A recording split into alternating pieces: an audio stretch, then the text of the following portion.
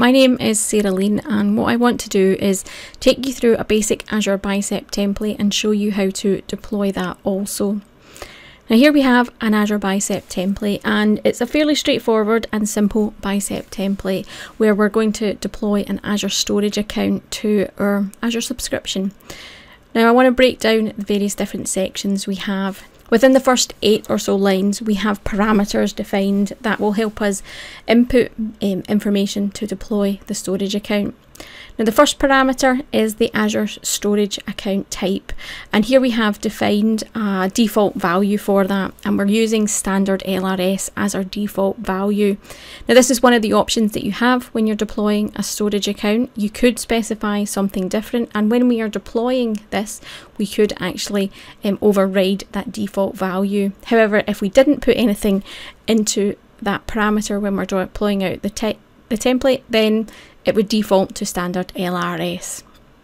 Now the second uh, parameter is our location one and what we're saying here is use the location for from the resource group that we're deploying into. So this storage account will be deployed into a resource group and the location will be taken from that resource group. Now the third parameter is the storage account name. Now we haven't predefined a default value for this so we'll have to input something into um, the deployment process to give that name. This larger section is defining the the resource that we're deploying. So we're first of all saying that we're deploying a resource and then we have a name here for it. And I've called this storage this could be anything at all. You could label this whatever you wanted inside the template. It's literally so that you can identify it inside the template. It's nothing to do with the end result of how the resource would be deployed or named when it's inside Azure.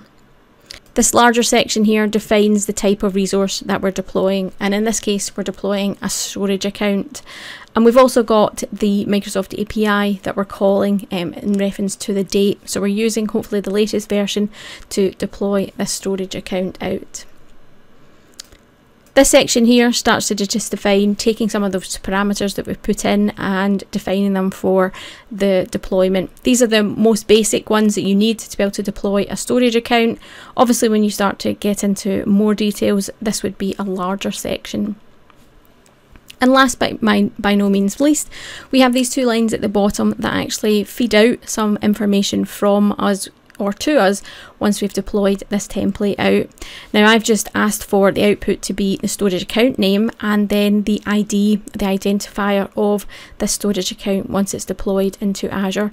But again, you can have a lot of different outputs here that you could maybe use when you are trying to pass information between one template or one deployment to another or trying other sorts of automation. I just wanted to introduce that concept of outputs to you and show you the art of the possible.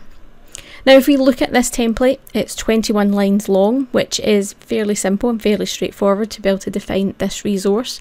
What I want to do is actually convert this into an Azure ARM template and show you side by side the differences and the different lengths of what a bicep template looks like in comparison to Azure ARM templates.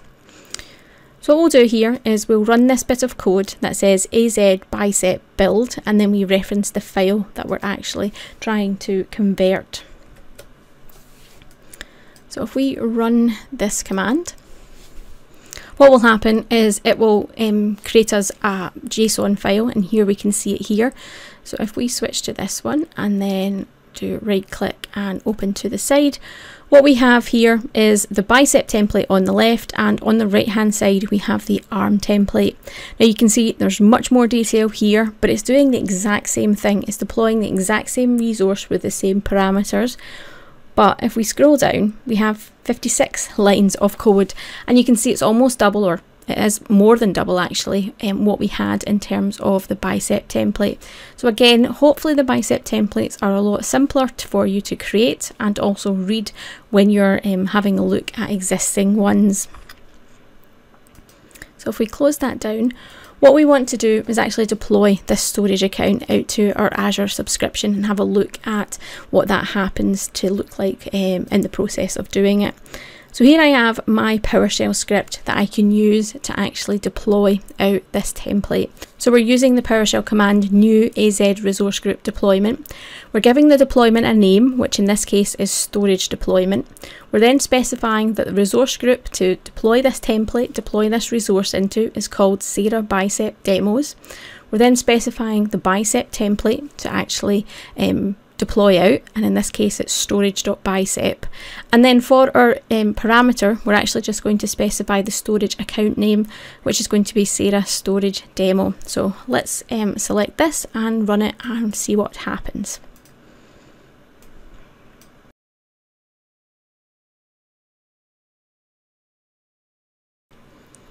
So the deployment has happened and we have some information out from um, our PowerShell command. So let's have a look at this.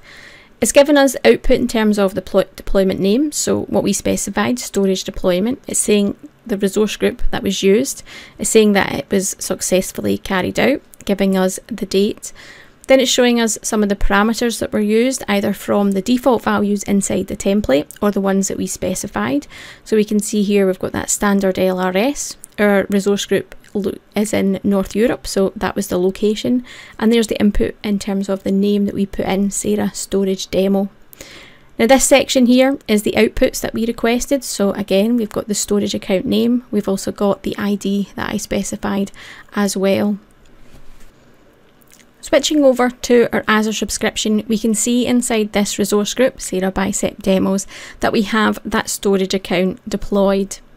If we have a look at deployments inside that storage, uh, inside that resource group, we can see what happened when we deployed that uh, bicep template.